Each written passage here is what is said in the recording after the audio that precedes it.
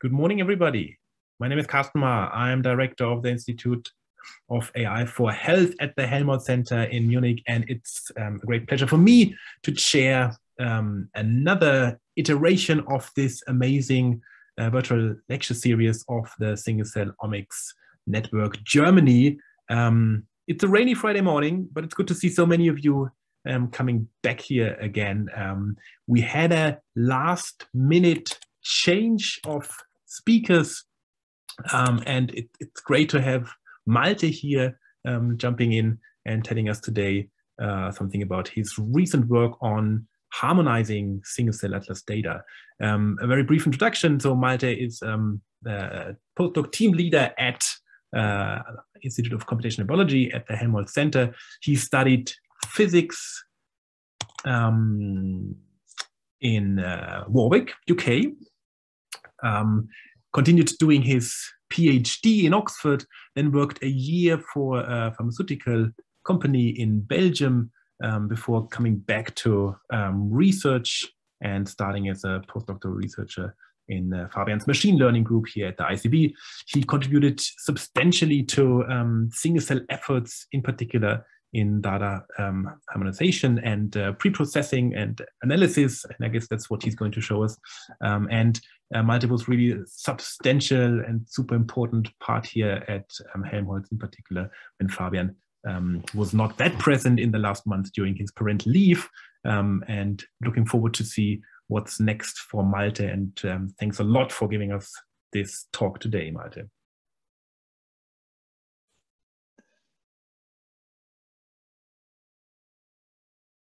Malte? I yeah, shall I start, or did you want to introduce the upcoming? Ah, sorry, yeah, we could, I thought we do it at the end, but we can also do it now. Um, so um, keep in mind, uh, this is of course not the last lecture. We continue on November 5th with um, Adrian Granada from Berlin, how proliferation cell cycle dynamics affect the responses of single cells to chemotherapy. Um, so we'll be back in, this is in two weeks, I guess, right?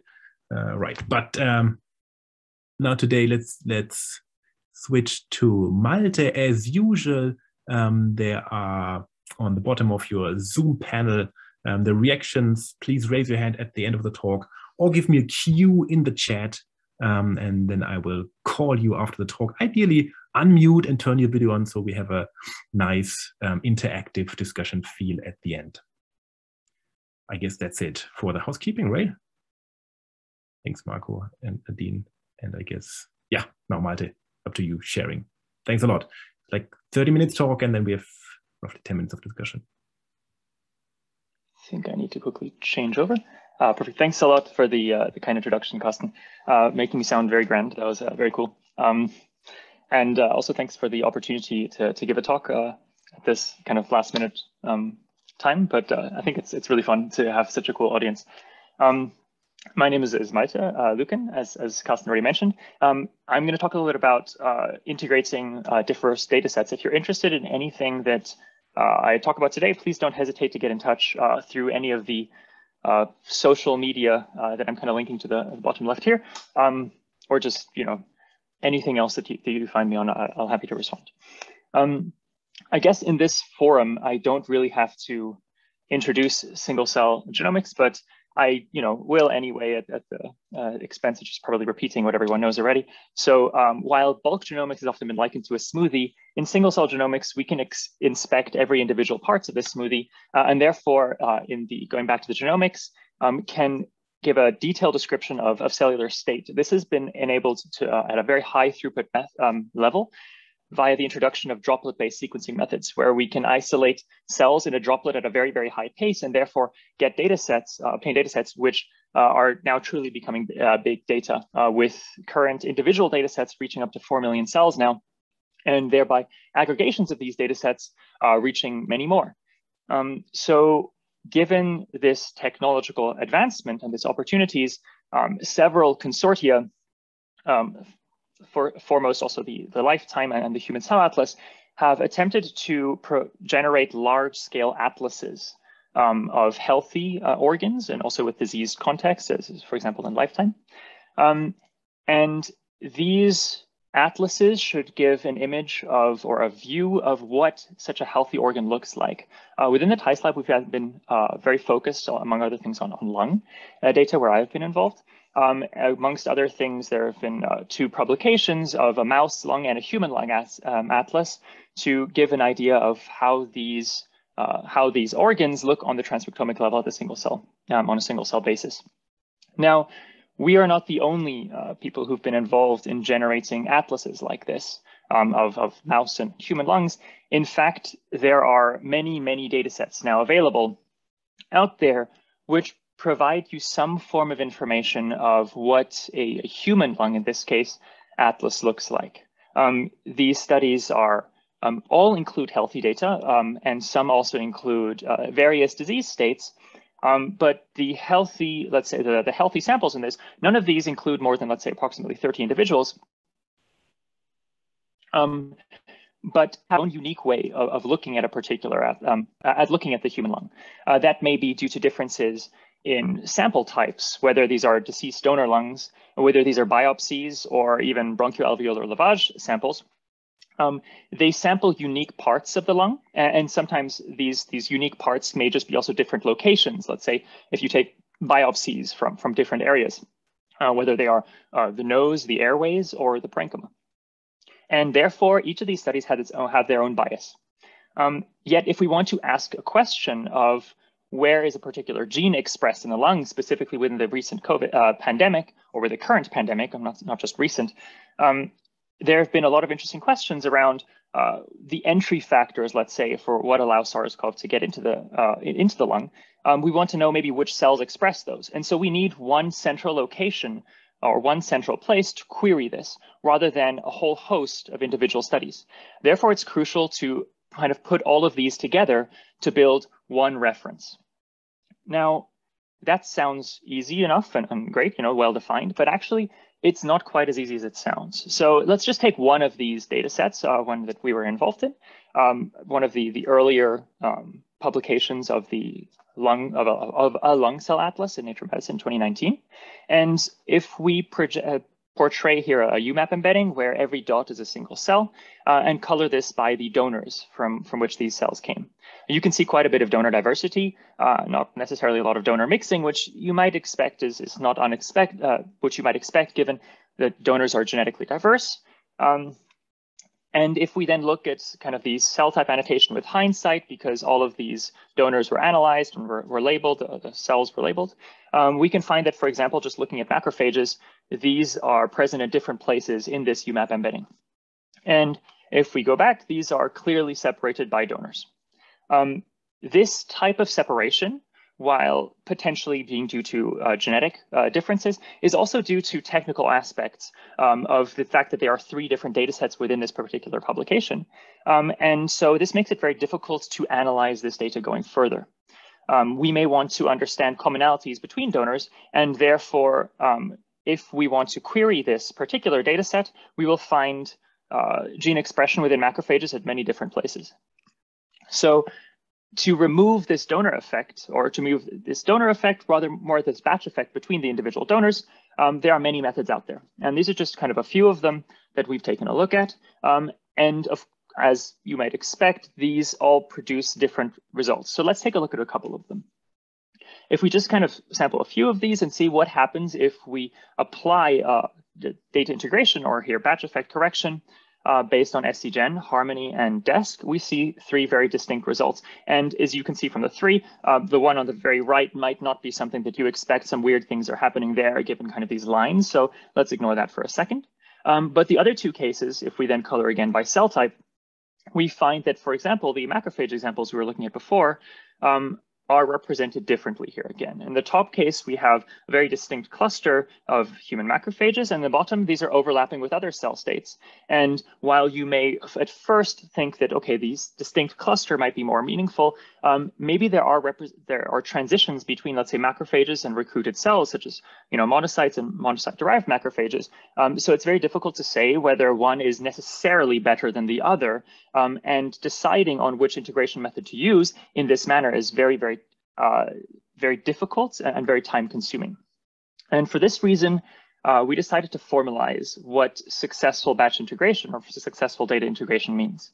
Um, conceptually, uh, you can imagine that if you have cells from different batches, you probably don't want them to be separated in this manner.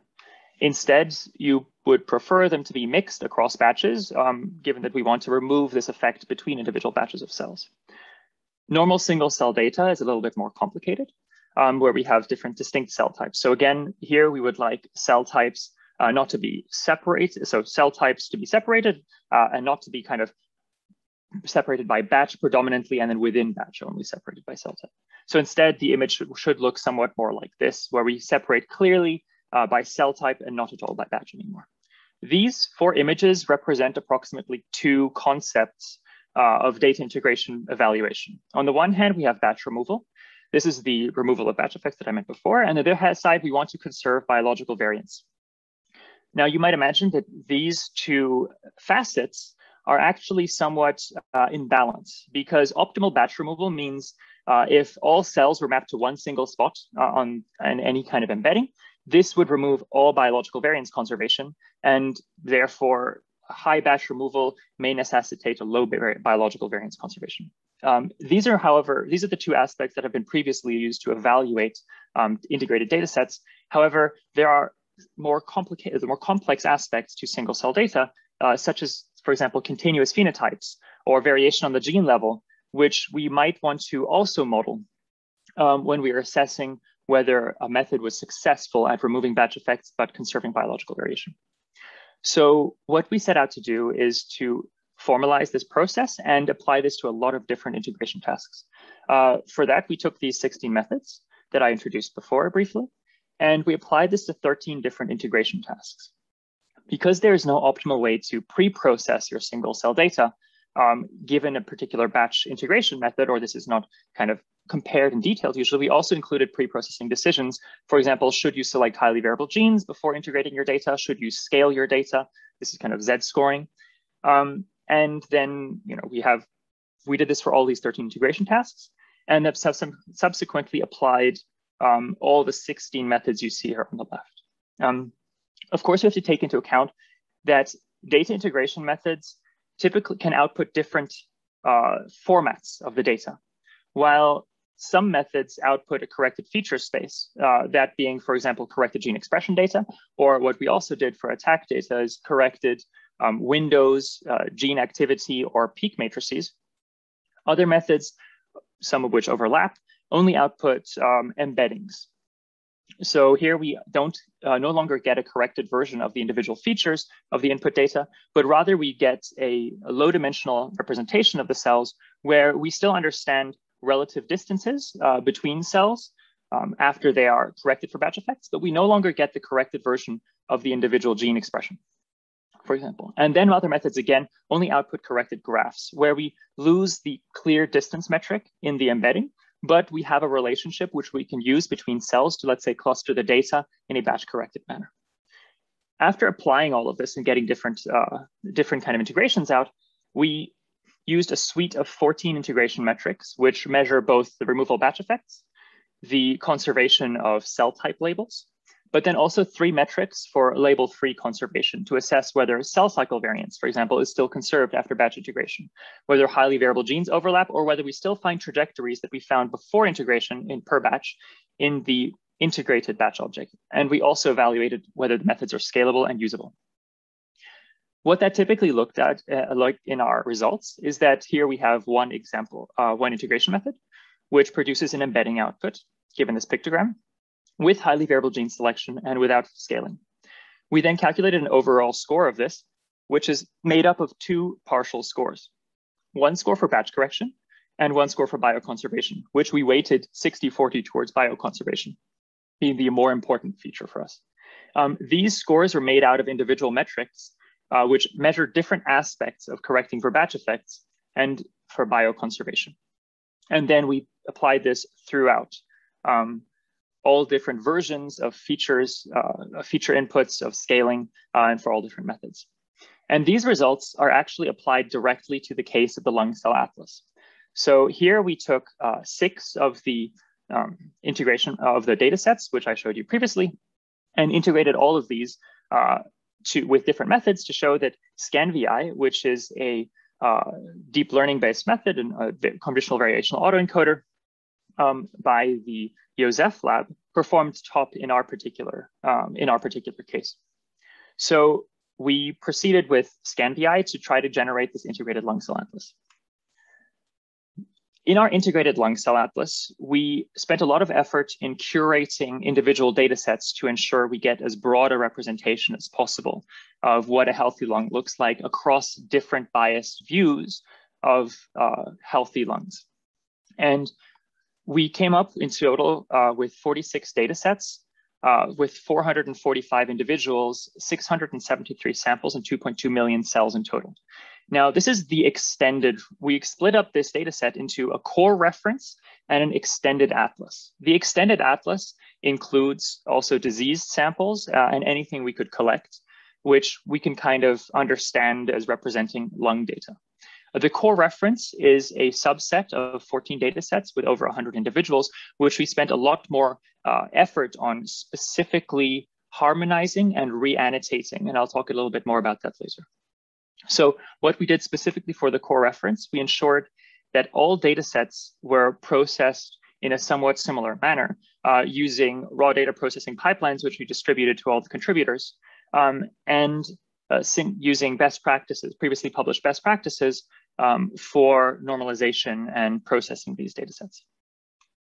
Um, this is, I should mention, uh, the work of a PhD student, a very talented PhD student in the group, uh, Lisa Sikkema, who, who is doing a lot of this work with me. And um, the second aspect, which we paid a lot of attention to, which uh, was strongly pushed by Alexander Misharin and Martijn Nawijn, who are the uh, heads of the uh, Human Cell Atlas Lung Seed Network and the European, European equivalent discovAIR, who are strongly involved in this project as well, um, we ensured that metadata were harmonized so we could analyze uh, subsequently what is in this integrated atlas. For this specifically, it's important that we uh, created a hierarchical set of cell annotations where you have different hierarchies of resolutions of cell annotations uh, at in, in, total five different levels. And each of the contributing data sets were mapped to this hierarchical annotation to have a consistent set of labels. Similarly, uh, we harmonized sample metadata and mapped each sample to a coordinate along the lung axis, going from nose to parenchyma, uh, and encoded this as a value between zero and one. In total, the core reference has substantial variance. And here I just show the uh, composition, so different cell types within each sample. And this is over, uh, I think over 100 samples here that I'm showing you, 160 samples. Um, and you can kind of see a very distinct difference between uh, nasal samples, airway samples, and parenchymal samples in terms of their cell type composition, where we have, for example, much more airway epithelial cells, and here much more alveolar epithelial cells in comparison. So the div diversity among these samples in terms of their cell type composition is quite strong, um, hence making the batch integration task fairly complicated, uh, given that differences between these, these samples are biological as well as technical. Here, um, we've, we then, once we had this integrated atlas, we could see a, a, clear distinction of, of course, immune cells, epithelial cells, stroma, and, and endothelial cells as the four main compartments. Um, but that's not really sufficient to say whether this is, you know, this is a harmonized and, and good version of the integrated atlas. So what we did is we performed iterative clustering within this atlas to obtain a hierarchical cellular structure. And what that means is we are trying to understand whether we find consistent representations of cellular identity within our integrated atlas, which may not have been similarly present in the individual atlases, or to assess whether actually we are just recovering what was already there in the individual atlases or whether we can find more. And so specifically, once we had these clusters, we can now check whether within these clusters, we are actually just recovering what was there in the individual data sets, um, or whether we are finding disagreements between the original data sets based on their labels. And this is possible because of the um, harmonized label sets which we gave. What we used here is, is Shannon entropy. So this is just the cell label entropy as we're calling it. And you can then, we can kind of highlight which, in which clusters there is a stronger disagreement of labels by the individual parties that contributed these. Um, specifically, um, taking one example which had a very high label entropy, we can find that if we subcluster regions with high label entropy, uh, or just look at these, these regions with high label entropy, we still find disagreements between different cell states. For example, here in this cluster, we have dendritic cells, macrophages, and monocytes all clustered together. Uh, these are the original cell type annotations by the data sets. And when we look at this cluster in more detail, uh, we can kind of, based on marker gene expression, which is consistent across all data sets, re-annotate what we would give them as DC dendritic cell 2 labels, um, macrophages, and potentially a subcluster of DC1 plus migratory DCs.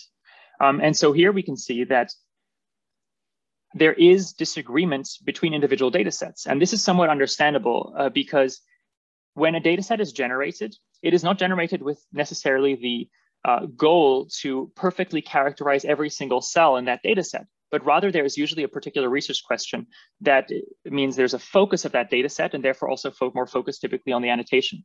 Uh, that is one of the, the aspects which we have to take into account for why maybe these labels don't necessarily agree.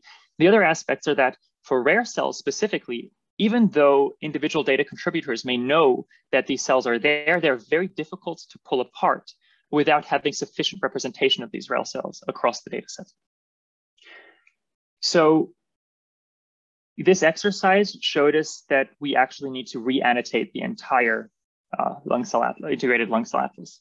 And as we are not necessarily experts in lung cells, uh, this was annotated by uh, consensus annotation of six experts within uh, the Human Cell Atlas Lung Seed Network, and also the discovAIR Consortium, the European equivalent, and there's a lot of overlap between the two. I just want to, at this point, to thank those uh, six experts specifically uh, in the bottom here. Um, and what that led to is a re-annotation of the whole thing with over 40, uh, 58 sorry, cell identities. And now given that we have this hierarchical annotation, we can start assessing whether the initial annotations that were given were actually just as a lower resolution, as you might expect, let's say if you have rare cell states um, that you cannot annotate in your individual data set, um, um, but instead give a higher, lower resolution label um, for example, just rare, rare epithelial cells instead of ionocytes, for example. And this would be um, an under-annotated cell, as we would classify it, or whether the annotations that were in the original data sets were actually misannotated, meaning they came from a different clade in this tree of hierarchical annotations that we have. So looking through, this is kind of what we find across our 58 cell annotations, that there are actually rather few cell identities that are consistently correctly annotated, um, given that we have some trust in our reannotation based on the consensus of individual of experts. And just to give a, an example of what this means, um, when we look specifically at endothelial cells here, we have a lot of blue, which are under annotated cells. And this is because endothelial cells are typically uh, annotated just as endothelial cells rather than the labels which we could give them now that we have a stronger representation of this, for example, as systemic venous endothelial cells, etc. And so a lot of endothelial cells were classified as under annotated predominantly and across these data sets, with very few actually being, uh, a few also being misannotated. On the other hand, we have cases where there's a large misannotation of data sets. And this is specifically true for cell states which are transitionary. Um, such as uh, proliferating alveolar macrophages, uh, which often were only labeled as macrophages rather than alveolar, for example, as well.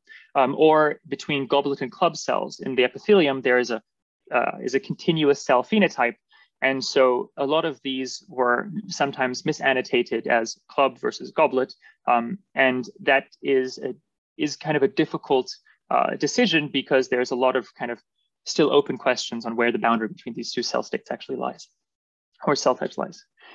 Now, now that we have this reannotation, we can actually look at generating consistent markers uh, or marker genes for these populations, which are consistent across 14 um, or 46 different data sets. And so here, specifically, we can now uh, we've used a dual uh, strategy of looking at within compartment markers. So let's say comparing to all immune cells and markers across the entire data set to characterize these populations.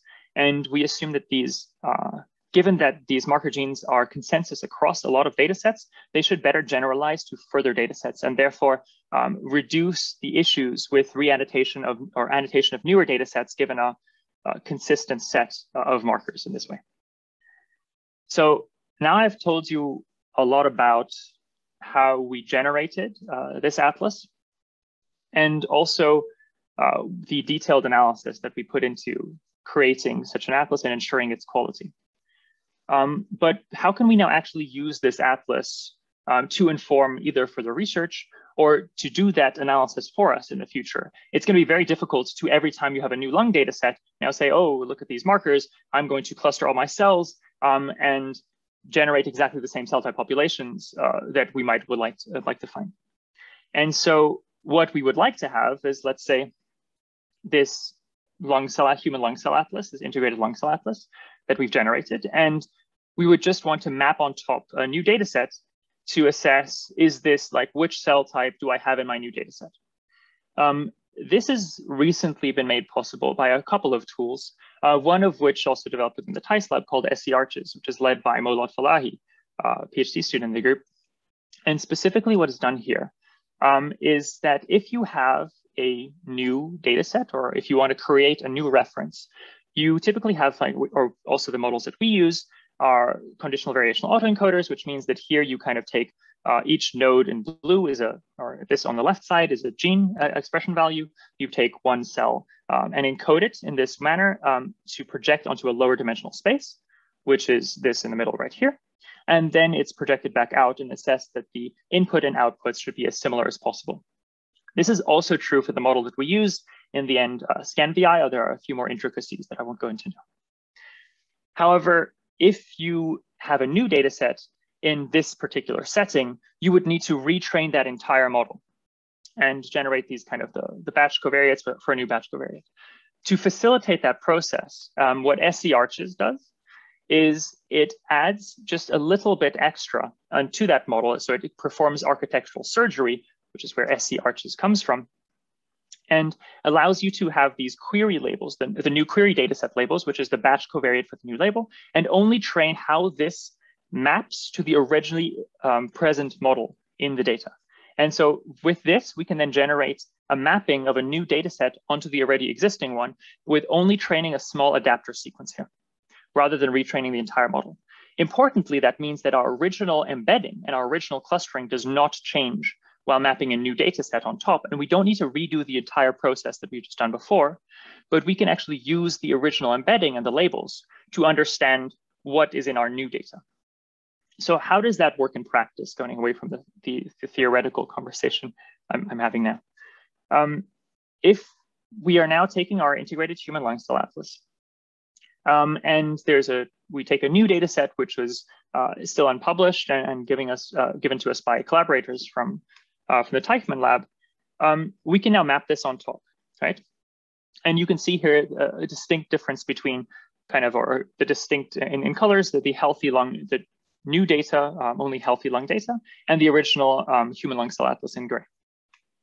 If we look at this on top in terms of cell type annotations, we can find that um, actually we, we find kind of quite nice overlap of individual uh, cells from the new data set uh, mapped on top, at least on the UMAP representation here, on top of the existing labels we have in the atlas.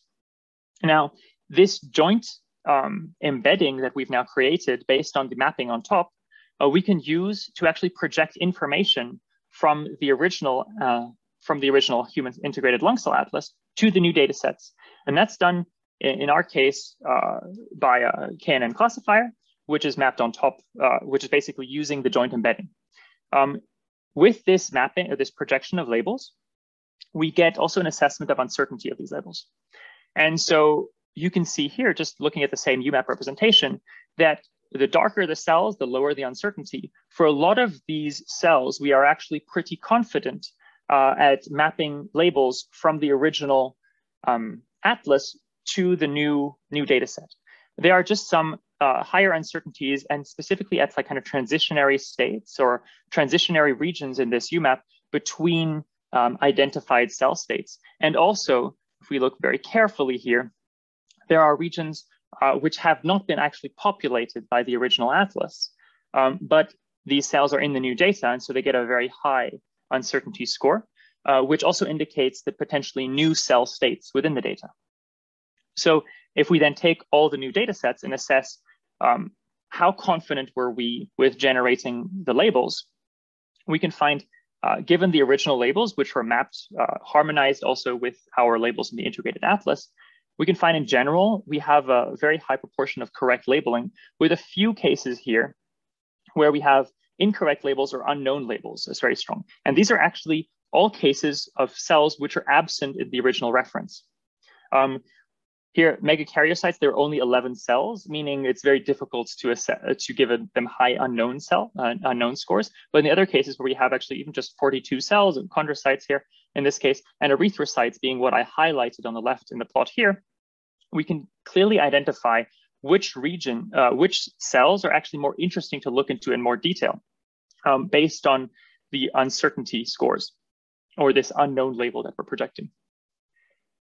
Now, if you remember the uh, accuracy that I showed you before of misannotated and underannotated cells um, in the original data sets, this mapping of new labels is actually very competitive with manual reannotation of individual data sets, given that here we are transferring labels from a, uh, a, curated integrated object, which has the ability to map uh, to label even rare cell states, which might be underrepresented in the new data set.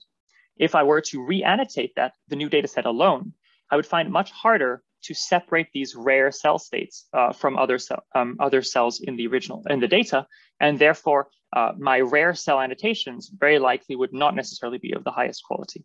And so therefore, we believe that actually analyzing your new data set by just a mapping a projection is uh, a very good alternative to complete manual reannotation, although I, we would suggest that you also look at the uncertainty in this to, to figure out regions of, of like to pay more attention to for further analysis. What we've done now is not just use this with one data set, but actually uh, with the extended atlas that I introduced before, we mapped 2.2 million cells in total, um, or an additional 1.6 million cells the first 600,000 um, to extend this atlas in this way. And we actually find, this is still work in progress, it's rather preliminary, but we find that this appears to work at first glance in, in terms of where the cells, which are in red here, map on the atlas, except in a few cases. So for example, one of the data sets uh, I can show just in the bottom here, which is this kind of green blob, um, had a very few gene overlap with the original um, atlas, um, with the original atlas uh, because of probably different genomes. And so if you have less than 66% or 60% gene overlap, then it doesn't work quite as well as you might like. While in other cases, it seems that even nu single nucleus data um, maps to this single cell reference very well using SCArches, um, but we're yet to kind of do a more detailed analysis on in which cases there are more limitations and which cases this works very well. So to summarize uh, what I've just been telling you about, um, we have this SCIB pipeline for benchmarking data integration, which you can use to evaluate how well different methods integrate your, your data, or you can also use to compare your new integration method um, to others on the same data sets. The integrated lung cell atlas, I've only been able to tell you a little bit about this so far, um, enables a consensus definition of cellular identity, uh, gives a strong recovery of rare cell types as well, uh, what I didn't manage to get into was contextualizing GWAS results. We can focus where there are relevant hits and allows rapid analysis of new data sets. Um, with SCArches, we can use this reference atlas um, to facilitate new data set analysis. And what we're building at the moment is an SCArches web server to map this data onto the Human Lung Cell Atlas just by uploading your data to a web portal and getting the, um, the projected labels back. Uh, an open question, which I like putting out there, which we still haven't solved necessarily yet, is how we ensure that the specific biological process is well represented in the atlas. There is always some give and take in terms of that we will never get the perfect representation of the underlying biology. And so if we're interested in one process, maybe we still have to file a little bit on the gene sets that we use for integration. And finally, I want to give a shout out um, to uh, an extension that we're working on at the moment um, for multimodal data sets. Um, so specifically, we have a NeurIPS competition that is ongoing to evaluate method where we're kind of asking people to integrate multimodal data sets uh, with three different tasks. And we would uh, we are evaluating this on a large scale. Um, this might be interesting to anyone who also was yesterday present at the epigenomics, Skullgecko Genomics workshop. Um, and there are prizes to be won, so that should be quite exciting. Um, and the, the, deadlines there, I think, are, are, late November, basically early December, when we're looking to evaluate all the results. But there's still, you know, very much competition ongoing, and so you can you join if you'd like to. Um, and finally, I'd like to acknowledge all the people who uh, were involved in various part of this project. I mentioned Lisa already, who is a strong push behind the integrated lung cell atlas. Maren, Daniel, Michaela, and Luke uh, and of course Fabian, as well as uh, Maria Colomé Tatché's group for benchmarking data integration, and Marta, excuse me. Um, and of course, all, all, the people who contributed even unpublished data sets to the integrated lung cell atlas to bring together this community effort. Um, uh, Sasha Misharin, um, Herbert Schiller, uh, Kerstin Meyer, Pascal, Nick Banovich, John Kropski, Elizabeth Duong, and Martijn Nawijn, who have enabled us to grow to these huge numbers of cells. Thank you. Malte, amazing talk, amazing work. I think whenever we think about reproducing or you know clinically or translationally using these single cell data sets, that's exactly the work that has to be done, and it's so so beautiful to see uh, how you guys did that. Um, there has been a bit of discussion already in the chat. I, I won't be able to pick up all of that, I guess, um, since some of the questions you asked in there might be answered already. If you still have a question to Malte, please give me a cue in the chat or raise your hand, and then I will call you one after the other. I think there's a lot of discussion. Um, uh, let's have at least 10, 15 minutes now, and we start with Daniel. Please unmute, um, turn your video on, and ask Malte. Hi, thanks for the great talk. I would have a question. Sorry if I missed this. Is you said you also had like the C state data in there for the cell atlas. So I was wondering how scaling is affecting like this proper integration of the C state data in terms of removing potential biological signals in there. And also regarding how integration of like the C state data into the healthy cell atlas might look like and how well this works in terms of like scaling and, and uh, removal of biological signals. That's a super good question. I, I think um, so the difficulty always between conserving biological variation and removing batch effects is, is not trivial. Um, we haven't, the evaluation of the integration methods were done only on healthy data. So I can't speak specifically of to how scaling affects disease variation in particular. However, disease variation, just like any other biological variation, uh, should be like somewhat affected similarly, I would assume.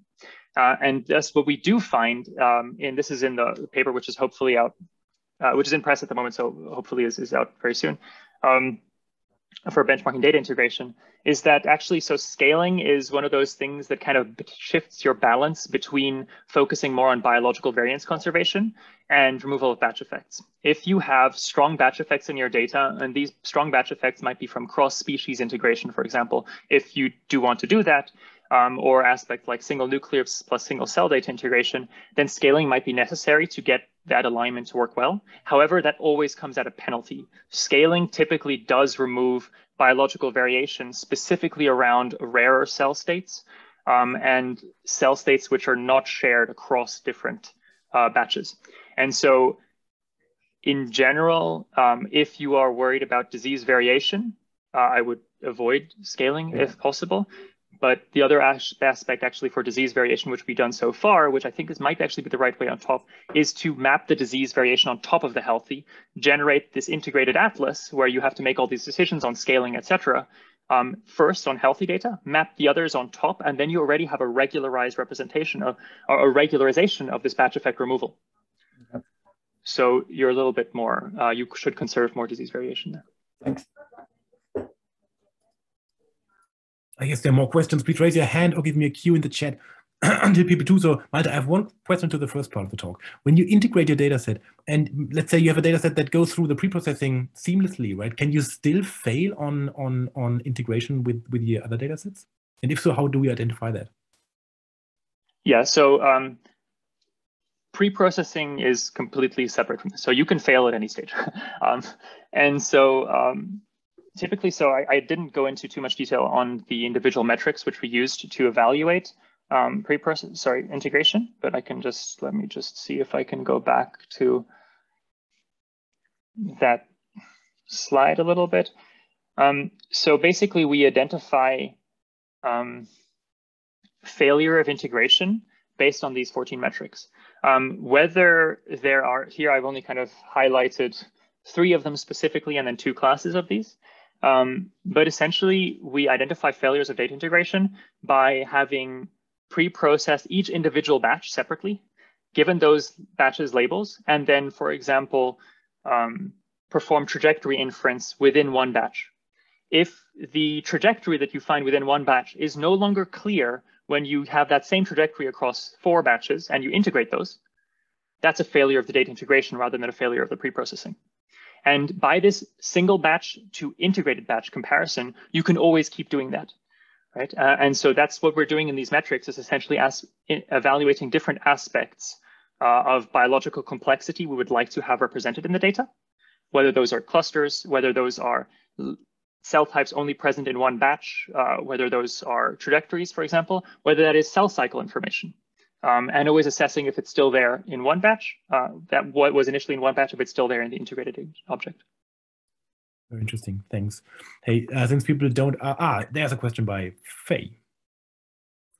Hi, Malte. Um, thanks for the great talk. I'm just curious, or I don't know whether uh, you mentioned mentioned it, but I missed it. But does the um, SCArches give you an output um, like a load, sort of like a corrected feature space, or is it just a um, low dimensional embedding in this case? So SCArches uh, will give you, depending on the method, it, it gives you different things. Um, so if you, for example, use scANVI method, um, that we've used also uh, typically so you can get both but they would recommend they recommend also in, in their paper that you use the low dimensional embedding. If you use SCArches with for example scGen uh, which is another tool which, which mo developed in the, in the lab um, then you get uh, corrected feature expression output because that is what scGen gives you. And so it depends on the method. Okay. Thank you. Next question by pia. If possible also turn the video on pia so we can have a bit of a real discussion here Okay. Um, hey, Malte. Thanks a lot for the great talk. Um, okay, this is a bit of a, I think, more philosophical question, I guess, regarding this uh, biological variance conservation, because I, know that you need to choose like somewhat what you use as a reference, but you showed pretty impressively beforehand with the lung cell atlas that actually a lot of the single dataset annotation is wrong, or say like just because of the lack of um, like complexity and um, cell type number that you can't pick up a lot of cell types um, or trajectories and so on, and that only this integrated reference atlas can give it to you. So I'm wondering, like, yeah, how much do you think such type of bias or wrong annotation in the initial data set will contribute to choosing maybe an, an not optimal method for the integration? Um, that's a great question. Um, so cell type labels that we used for evaluating the integration were in at least half of the cases regenerated by us. Um, and so this is something we were quite sensitive to initially, where we reanalyze individual data sets to make sure that the marker genes that we were using were consistently used. So even if we gave one wrong annotation, we gave the same wrong annotation every time. Um, and that would kind of, you know, then make the problem only on the labeling itself. There are a couple of instances where that's not the case, uh, where we couldn't reannotate everything, and that might be an issue. Um, there is definitely something where we could have annotated more deeply. So for example, in the lungs um, atlas task within the data integration manuscript, which is not the same as what I presented later, um, there is, for example, B cells have a lot more diversity. Um, because the original annotation is just has B cells, but actually we find multiple clusters of the same label. So we could do better. I think overall the ranking is still fairly robust to this, uh, given that we did a reannotation on a couple of cases though. Thanks. Thanks, Malte. Dalia is next. Hi, Malte. Thanks for a great talk. Really interesting. Um, I was just curious um, when you do the projection of new datasets to, to your atlas, is it interesting to do a subsampling of the atlas uh, or is it possible um, to just make the computational faster? So this is uh, it's a great question. So this is actually one of the things which is a huge benefit of this projection um, you don't need the original Atlas uh, data at all to make the projection. So why we are generating a web server of this as well is that you can just take the trained model and then all your retraining is how the new data maps on top. So you don't need any of the original um, data. You there that means there's no need for subsampling. It's just as fast. This is way, way, way faster than if you perform a reintegration of everything, especially if you're using GPU architecture. And so this is why um, it's so nice that we can just map on top. Um, we are still, I mean, we've tested quite extensively the limitations of mapping on top versus retraining. And so far it's all looked good, but it's a little bit too good to be true that it works all the time perfectly, right? There are some limitations that if you map too many things on top of a, an unfinished reference, we might want to update the original reference. Um, but essentially, yeah, it's it's very fast. You don't need to subsample. That's really great. Thanks. Interesting. Andre, you're next. Yeah, hello, Martin. Uh, a very short question is there projects to make this to make these models and this approach available to other organs like pancreas or liver? We are current so pancreas or liver are not specifically started right now by us. Uh, there are efforts, I'm sure, within the Human Cell Atlas, which are going in these directions. We are working also, for example, on the retina, um, to to with with Nacho, who uh, might be in the audience. Uh, so Ignacio Ibarra, who in, in, the Theis lab, he's working a lot on trying to make this available. Um, this project has taken nearly uh, a year and a half, two years. Uh, so it's it's something that's not super straightforward, but now we know how it's done. We think we can scale this up at a much larger level. So we are starting to try to apply this to different organs. Uh, so yes, um, this will happen, and uh, that's fully within like what we intend to do next.